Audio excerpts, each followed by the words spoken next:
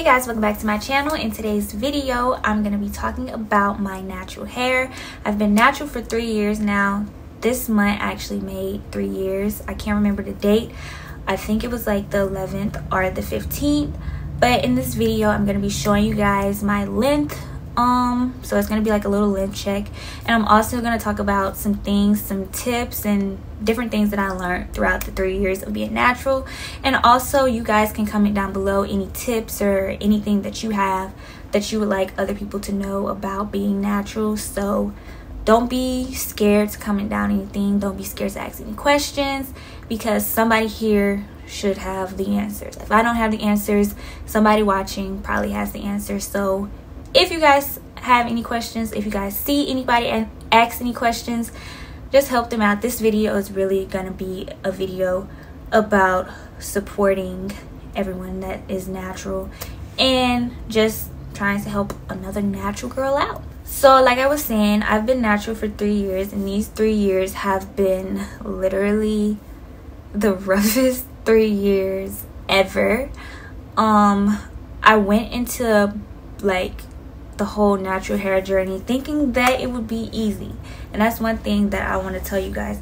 It is not gonna be as easy as you think especially if your hair type is more coily or whatever like mine's now I went into the journey looking at people's hair types that was totally different from mine and I want to tell you guys this right now. Do not do that.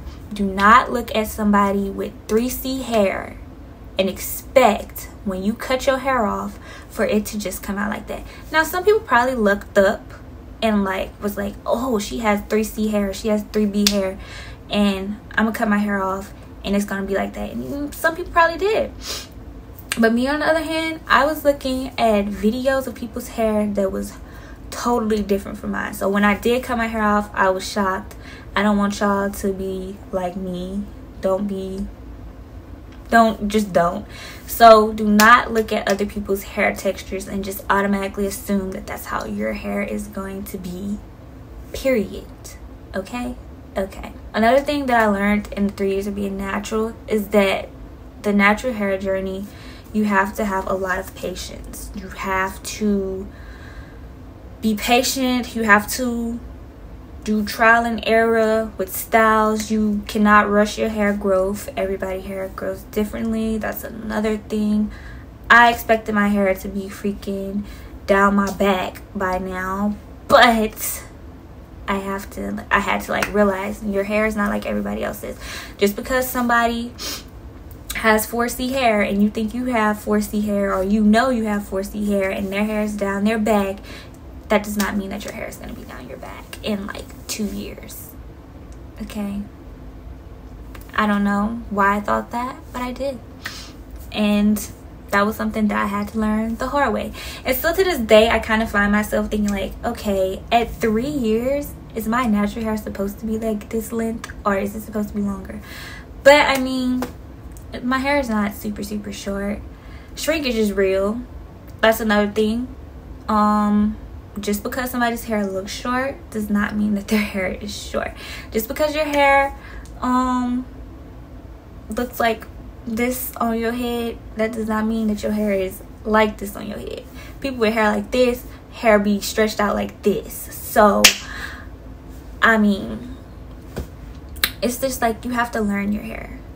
Being natural you really have to sit there take time back to patience.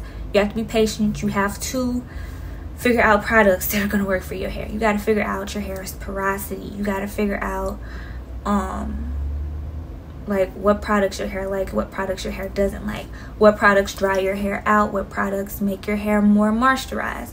Um does your hair work better with heat or without heat? Like it's trial and error with everything. That's another thing. Learning what works best for your hair and like if you have time for your hair. So a lot of people don't really have time. Like if you're in school and you work and stuff like that or you have kids and stuff like that um you kind of sometimes don't have enough time to put out like five hours towards natural hair. And i'm not exaggerating. Sometimes it takes me literally five hours to do everything for my hair and it's this length. So like if it was longer oh my gosh. But i am a lazy natural what is a lazy natural lazy natural is someone that doesn't do too much to their hair and that's probably why my hair is not at its best but I mean, it's not at its worst either. But honestly, wash my hair, condition it, all that stuff, braid it up, put a wig on it. I don't touch my hair. But another thing is, I notice that if I wear my natural hair out too much, it causes my head to hurt. I don't know why it does that, but my head starts to hurt. So, like, I took braids down last night I'm wearing my hair like this today probably won't be able to wear my hair like this for too long because my head will start to hurt I don't know if it's because of the texture I don't know if I don't know but my head will start to hurt so braids protective styling is my go-to I also feel like the more I do to my hair the more it like sheds and although in braids your hair is still shedding, but I mean like I feel like my hair sheds way more with like that. What else can I say? What else am I missing out? Um there's some people on YouTube that will sit and tell you that oh drinking a whole bunch of water, oh your diet, oh you need to exercise for your hair to grow. I mean, I haven't tried those things. I don't like water. I don't eat healthy. And I haven't exercised since I injured myself in like February. So, I mean, my hair is still growing. It's not growing super fast. But, I mean, don't just take everything people say and just go with it. There's some people that sit up here and tell you that if you freaking put mayonnaise in your hair it's gonna be down your back. And y'all go do it and then be mad because it's not down your back. But i'm like you gotta realize and you gotta um you gotta figure out what works for you. That's like the the main tip of them all realize what works for you in your hair. If somebody is up here telling you aloe vera works in their hair it may or it may not work in your hair. But you can't and then you can't just give up. You have to be consistent. Consistency is also key. Um with the people that were doing the rice water. I did the rice water and my hair did get thicker but i wasn't consistent. So i did i couldn't really come up here and be like oh my hair grew down so much or my hair was so thick because i wasn't consistent and then you can't be mad at the other people that were saying that their hair grew down their back because you weren't consistent sis so but whatever you do, you have to be consistent. And consistent is not two weeks. Consistent is more than a month. Consistent, like you got to do that for probably. Feel like to actually get some true results, six months to a year of consistency, doing it the same. Like, did my arm just jiggle? Oh my gosh. Yikes. But anyways, yeah, consistency is key with anything you do. Like me, I need to be consistent getting to the gym because this this was just jiggling. Like oh. But yeah, y'all, I feel like that's super important. Consistency, um, patience.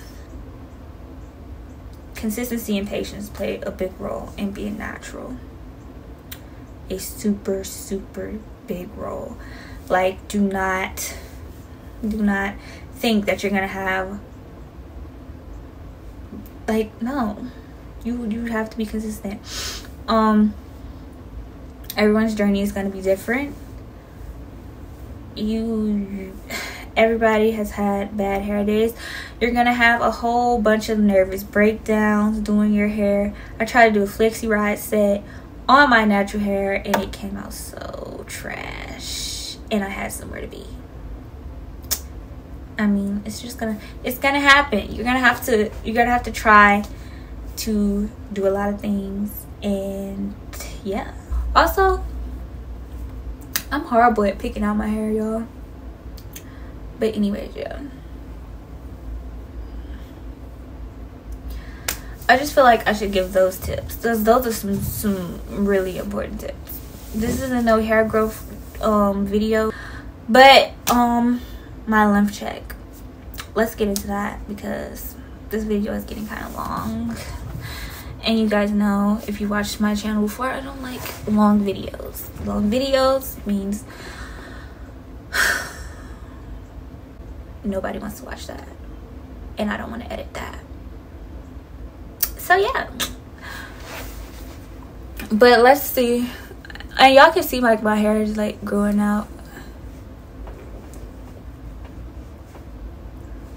but this is like where my natural area is right now. Right there.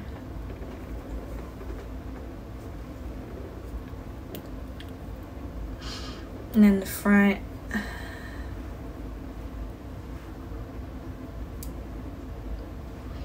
I remember when my hair used to be like right to the top of my lip. So it's growing. It's like right there. I think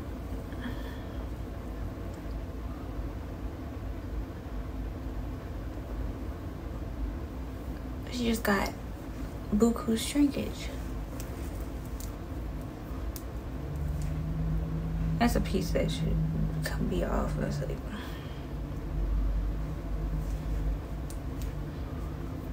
that yeah. My hair she's grown um, if I can find like a picture of my hair, because I honestly I transitioned for eight months before I did cut my hair off.